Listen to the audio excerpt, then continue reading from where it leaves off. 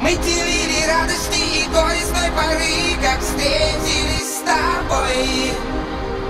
Ты как островок покрыт там море Щедро мне подаренный судьбой. Островок